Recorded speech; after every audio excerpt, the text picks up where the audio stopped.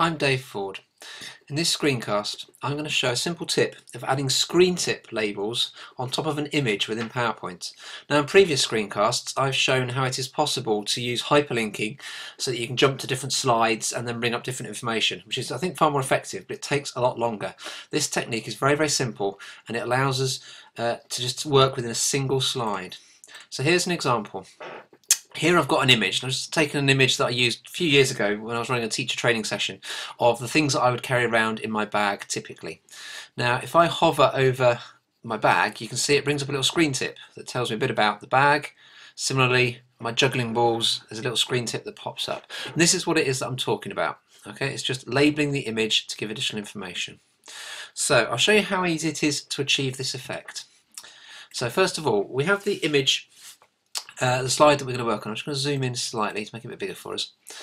Uh, what we need to do is we need to draw an object on top of the image that is going to become the hotspot. So if I click here, you can see there's a, a shape on top of my rucksack, and then there's another shape, if I can find it, on top of the juggling balls, which itself is the hotspot.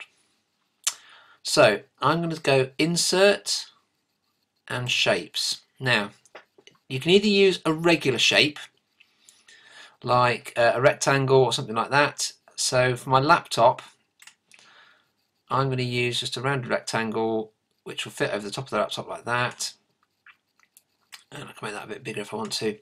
Uh, and that works quite nicely.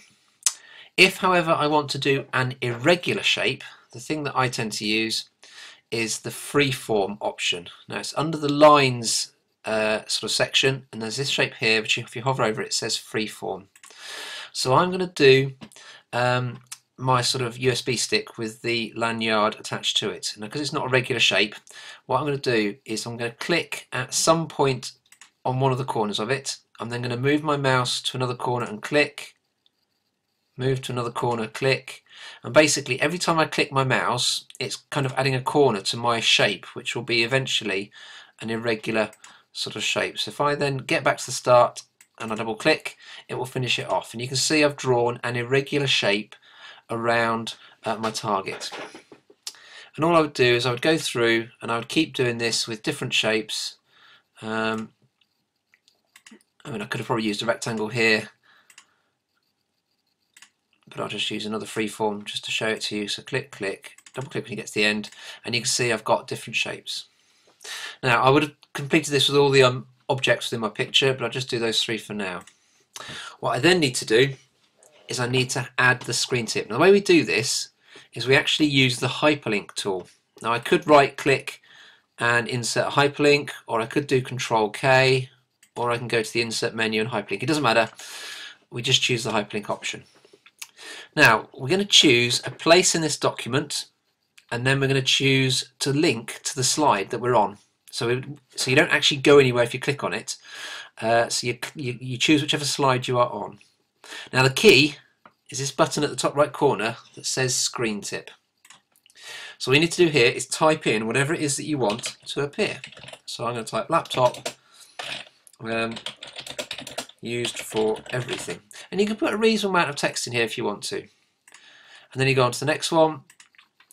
Okay, hyperlink choose the slide that we're on, choose a screen tip, and that's USB stick.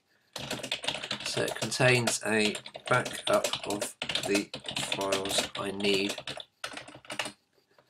for the session. etc. So you would do that for all of the objects within your uh, image.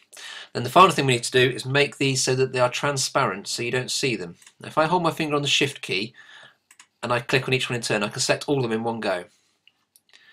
Uh, you can either go to the format menu or you can right click and do format object. But basically what we're looking to do is where it says shape fill you could choose the no fill option. Uh, I personally choose more fill colors and I make the transparency 100% it just works very very slightly better in certain situations. And then I do shape outline and on this one I can do no outline so I've made it so it's got no fill and no outline and that will then mean that the shapes are invisible. If I run the slideshow from my current slide, when I hover over the laptop it shows me what I've typed, hover over the uh, lanyard in the USB